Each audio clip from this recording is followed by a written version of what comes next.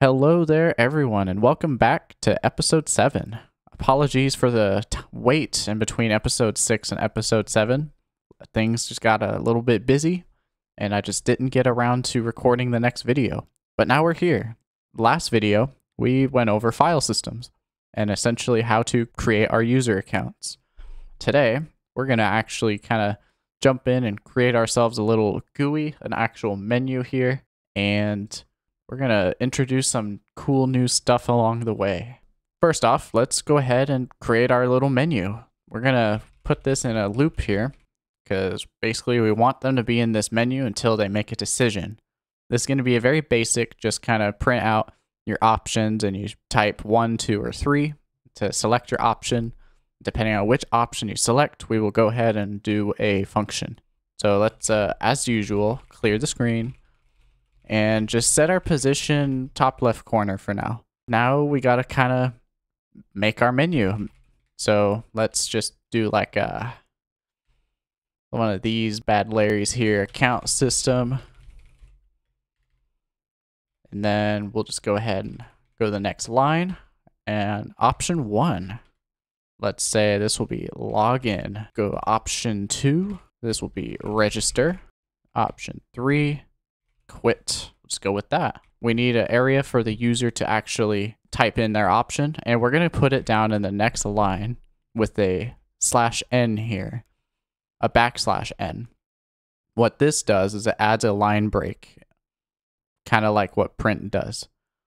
And select an option add a space at the end for making it look nice. Now we need to actually do our uh, read. So we're going to do, uh, let's do choice equals read. And we need to make some logic to kind of take what our user types and then make it a function. So let's say if choice equals one, then uh, this will be our login function. Then we need to put in a cool little else if. So else if choice equals 2, then this is going to be our register function. And if choice equals 3, then we need to exit out of the loop. And hopefully you remember, it is break. And then let's put in an else at the very end. So basically, if none of the others are true, then clearly the user typed something wrong. And we're going to let them know invalid choice. We'll sleep for two seconds and that's it. Go ahead and end that off. So let's see what this looks like. We'll go ahead and run menu. Look at that. We got ourselves a little, little account system. We enter nothing, invalid choice, and we start over. Let's actually build out these functions. Last time I separated into a different program here, but you know what? We're just going to delete that delete this program. Remove login, and that's gone. Instead, we're going to run all of this in our one program through the use of functions. So I'm going to call this uh, register. And a function, just like most other things, will need an end. And while we're at it, we should create a function for our menu here. So let's do function menu. And uh, I'm going to go ahead and tab everything out, make it all look nice. There we go. Tab, throw another end, and there we go. Now everything is in menu. And, and what does this mean? What does that do for us? So let's just go ahead and run menu. You'll notice, uh-oh, nothing happened. What, what's up with that? Well, that's because this right here defines the function. Now we need to actually call the function to do what to actually uh, activate. So we do that just by typing menu or whatever this function name is. And you need your uh, parentheses here. That's where your arguments would go if it had any. Otherwise, it's just blank. So if we run it again, now it's working just like it was. If we do three, we're back into our terminal just because of this uh, break here on line 22. So very cool for choice two, we can just put in register. And it will, once we put in two, it will take this and put us into here. Now, it is very important, the thing that you must keep in mind is that the register must be defined before it is called. So if you try and run register somewhere way up here, uh, it is not going to work because at this point in the code, uh, register doesn't exist. So it's you always got to make sure you call or declare the function before you call upon it. That is good practice. Let's uh, register our account. Term.clear, term.set cursor position. Okay, so let's uh, tell them to enter a username. We'll go ahead and do our user equals read. Like before, we're going to kind of do the same logic we did in the last video with login and all of that. We're going to first check that the user is not taken. And if you remember, the file we created was the username.txt.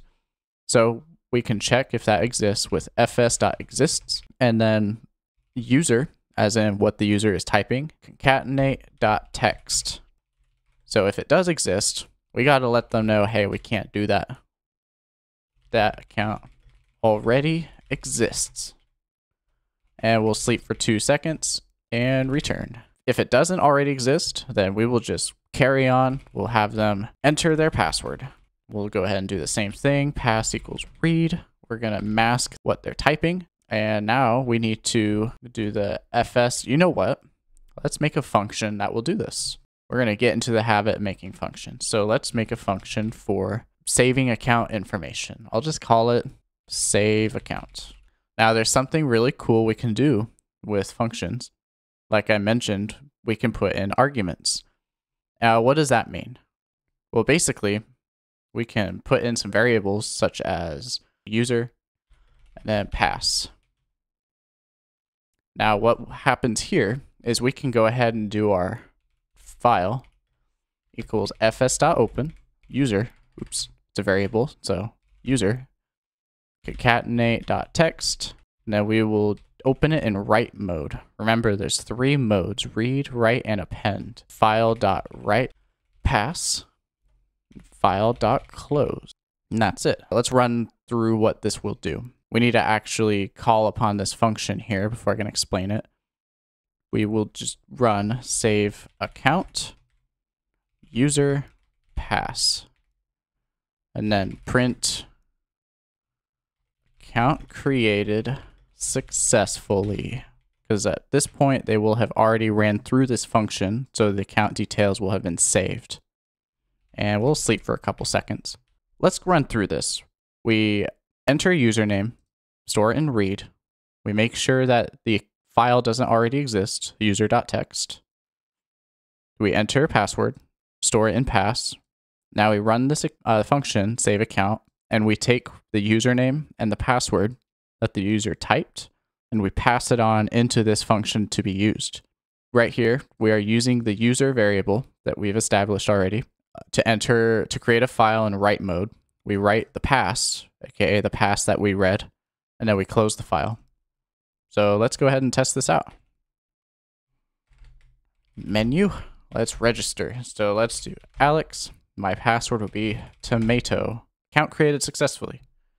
So let's go ahead and terminate. And if I do an ls, you'll see an alex.text. Let's edit alex.text and you see my password, tomato. So that's pretty cool. We can, uh, you can see how powerful functions are. And there's really uh, limitless possibilities with this here. We have ourselves a save account function, just, just to be clean, just to get used to using functions. Was it required? Not really. We could have just stuck uh, these three lines like underneath here just fine. But, uh, you know, it, it's just a learning experience. We need to make a login function. Function login. And let's put an end. I'm always to put the end right when I call it just to be safe. And down here, let's just run login. Okay, so same deal, term dot clear set cursor position 1 dot comma 1 and let's have them enter their username it's going to be user equals read write password pass equals read mask it of course can never forget to do that uh, you know what we made a function for save accounts let's create a function for loading accounts. So function load account. And this one, we're just going to put in user because for this, we're going to need to enter the, the file, open the file, and it's going to be named user or whatever we type here. So we're going to pass this variable into this function. First, we need to check if the file exists, just like we did for register. Instead, I'm going to do the opposite and check if it doesn't exist. So if not fs.exists user, and we're going to do read mode because, or what am I doing? We're not going to do read mode. That would be wrong. so if not fs.exists, then we will return nil. And what does that mean? Return nil basically just means, uh, well, we're going to check for, for this in our login function. So it'll make sense. Just bear with me. Otherwise, uh, once we get through that, we're going to just go ahead and do file equals fs.open. It's going to be user concatenate.text. Now we're going to do the read mode. Got ahead of myself earlier. Now we're going to do password equals file dot read all because that's all that's in the file. So it's okay if we read the whole thing. Now we'll close it and return password. So what what's with these returns? Why why are we using these? Well, we're going to make a variable here. So let's say stored password equals load account user. Let's just show you. I'm going to print stored password just so you can see like what it outputs. We'll run this, login, Alex Tomato. Uh-oh.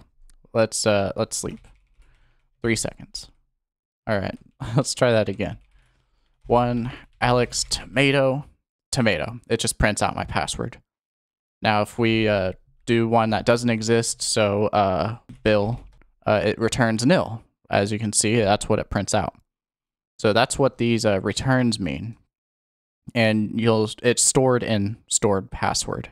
So we can actually uh, set a variable equal to a function because this a function essentially becomes whatever it returns here. That's what it's gonna give us. Uh, by default, functions typically like return true if it ran successfully. We'll we'll play around with that some more as we go. We printed, or let's get rid of this. That's just for some debugging, I guess. So let's check if stored password equals nil. So if stored password equals nil, then we're going to let them know that that account doesn't exist. Otherwise, uh, if it does exist, then they're going to go ahead and log in. And we, of course, need to compare stored password. Let me move that cursor out of the way. Stored password equals pass, then print login successful. And we'll give them a little welcome. We'll sleep so that they can see it. Term dot. I'm going to clear the screen, set the cursor position back in 1 comma 1, just to kind of reset the terminal. And then we'll do an else. So if the password is incorrect, then we're going to tell them incorrect password. And that's it. We'll go ahead and run it. One, Alex Tomato. Login successful. There we go. And you'll notice, uh-oh, we're back in our menu. That's kind of weird, right? Um, well, let's go ahead and test out if we put in the wrong user. Nothing, I guess, because uh, we need to do a sleep here and a sleep here. User does not exist, okay? Let's uh, do wrong password, incorrect password. Cool. Everything is good. Let's register. What happens if I enter nothing? Uh-oh, okay, so it still creates an account. Well, it didn't create a user, that's for sure. So that's something we could do is make it so that if you uh, enter nothing, then it shouldn't do it because that'd be a little weird. Edit T, yeah, that's just blank. So if we log in with T, then that's it, just no password. so I don't know. You might not want that. We can, of course, check for that. Anyway, let's uh let's press on. This is pretty much the whole program. Uh, all we need to do is make it to where when we log in successfully, uh, we exit this loop. And we can do that by adding in a break here. How are we going to do that? So if the login is true, all right, what we'll do is this. We will just, uh, at the end of this, when it's done with the if-thens and all that, um, I have a bunch of sleeps, so let's just put a sleep down here and just throw these out just to be more efficient. I'm going to need this here because I'm uh, clearing the screen at this point. Uh, and then we will just do a return false. And now down here, when we call login, I'm going to instead make this an if. So if login, then break. So what does that mean? Well, it's still going to run login because it uh, it needs something to compare to. And this is just saying if true. If login, then break. If I did if not login, that would be asking if login returns false. So we need uh we need to return true here after we log in. So let's just uh uh throw throw that at the end of here. So Alex Tomato login successful. Welcome. There we go. Now we're back in our terminal. Isn't that neat? And we can check for do some input validation here. We want to make sure that it's not an empty password. Maybe we want it to be, I don't know, like at least five characters. So we can do uh, if, so there's a, a fun little symbol here is hashtag pass. Now that means the length of pass, the length of this variable. It's going to basically be if the length of pass is less than 5, then we can tell them password must be more than 5 or must be at least 5 characters. Let's put an or here in case password is nothing or pass. Actually, maybe we should do it the other way around. Check that there's something there first. So if pass equals nil or hashtag pass is less than five, then that'll work. Okay. Print, let them know it needs to be at least five characters. Else, we will run this. And uh, we do need to do the same for the username um, if pass equals nil or the length of pass is less than 5 or user equals nil or the length of user is less than 3 then we'll just print both username must be at least 3 characters okay and we'll sleep for three seconds. Let's test that.